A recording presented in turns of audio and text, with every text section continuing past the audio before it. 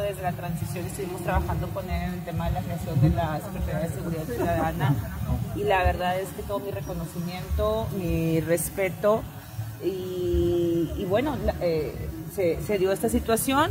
Eh, la ley establece que será el fiscal central quien asuma el cargo de, manera provisional en lo que pues, se presenta la terna y el Congreso aprueba el nombramiento de quien será el nuevo fiscal. ¿Qué perfil busca, María?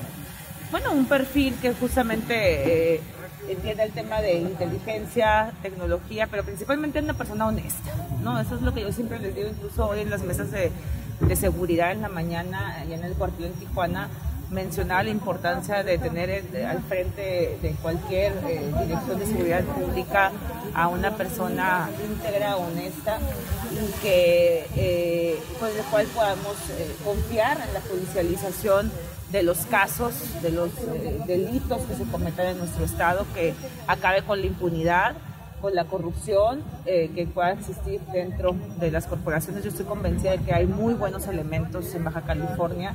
Hay que cuidarlos, hay que capacitarlos, hay que equiparlos.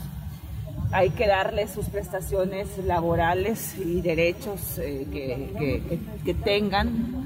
Eh, y el perfil pues será un perfil basado en, en, en todas estas características que, hemos establecido. Robert Moreno se menciona.